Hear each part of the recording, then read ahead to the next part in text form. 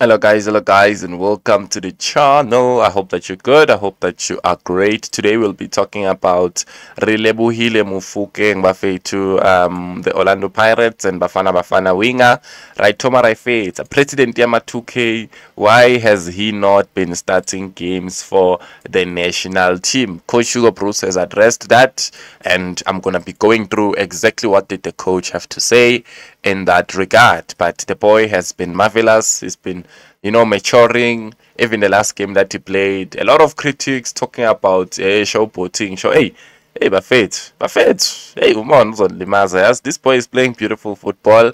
Um, he's bringing life, you know, in that final third, connecting very well with the front three, creating goal scoring opportunities, getting to that box.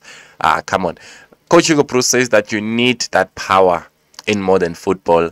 It is something that is normal. Football, technically, you have to be good. This is normal, but there is something, and that is the physical side of football that you have to be able to play 90 minutes and also have the power you get that, guys? He says, Guti, and we have that power in our team now, and uh, we had it also in AFCON, and that is why we came out with good results. That is why we can compete with teams like Algeria, with Ivory Coast, what we did in March and last year in November. You know, that's what we're capable of doing. I think two years ago, it was not possible. You know, this is also something that I mean when I say that the level of PSL is not high enough. Technically, it is okay.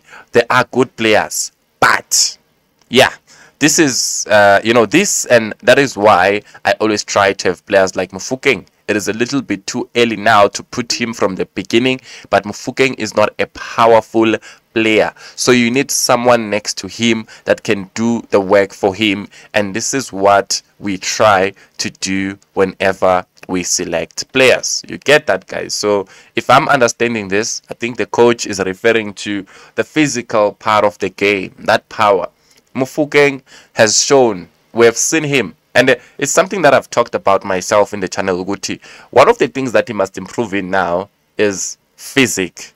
Physic, very important, especially now that you're going to be playing in the Champions League. You'll be finding players that are bigger than you that will easily shove you off, that will easily pull, pull you you know so i don't know how he's going to deal with that but i think so far he's gained a lot of experience and i think as a 10 Eh, she can play very well than on the on the left hand side. Yes, guys, I don't know how you see it, but yeah, man, guys, this is how he is technically very perfect. But Hugo Broos also emphasizes on the physical part of the game and the power, and that gradually he's gonna get there you know. So yeah man let's see how it's gonna go. But i don't know guys how do we fix these type of issues you know?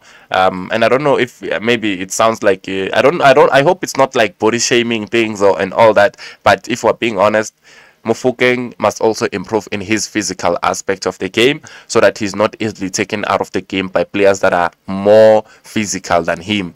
But Bafika and shield him off the ball they're done with him. You know, we've seen he, I've seen it even against Cape Town City. Umkhize was doing that. You know, um, but Mofokeng scored in that game. I remember, but Mkhize would bully the boy, right? And even in that game of um, Sundowns last season, I saw Mudau bullying Mofokeng at times. And then the coach decided to now start Hotto and then put Mofokeng um, from the bench. So I don't know how we're going to deal with those things, but I still think that the boy is still young. Make no mistake about it. He's still going to improve in a lot of aspects of his game, including his physique, including his, you know, uh, the power that the coach is talking about. Remember that we're talking about a 20 year old player, but that's one of the reasons why he has not been starting games for the national team. And let's be honest, the ones that have been starting have also been doing well. So for him, it's a good thing for him to be introduced gradually, you know, not to put a lot of pressure on him you know. So that's just about it ladies and gents. And with that being said i am going to close it here and i'm going to catch you guys on the next one. Danko is thank you for tuning in to this video